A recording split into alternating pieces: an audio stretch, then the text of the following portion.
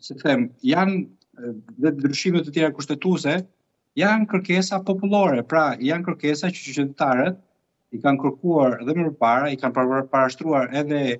edhe personazhe të tjera politik, ju duhet të dini që ka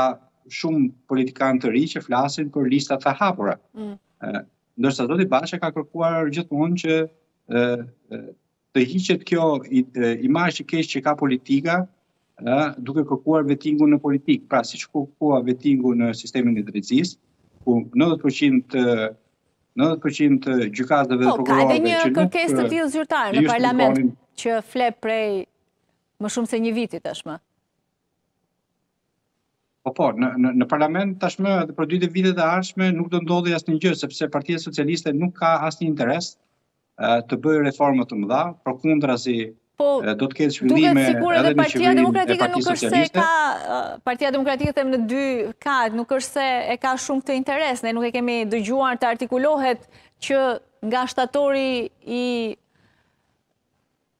i nisjes së sesionit të ri parlamentar, kur dhe u depozitua një gjë e tillë, u desh zoti Basha të vinte dje që ta risillte sërish në vëmendje një gjë të tillë, vetingun e politikanëve. Po, sepse është marrë gjithmonë kjo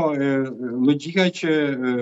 hajde të shkojmë në, në zgjedhjet lokale për të rritur kuotat e liderëve politik Berisha Meta, që këta të jenë interlokutor me Perëndimin dhe Perëndimi të bisedojë me ta, të bashkëbisedojë me ta, se si mund të gjejë një rrugë zgjidhje për të ndarë pushtetin. Por, në fakt,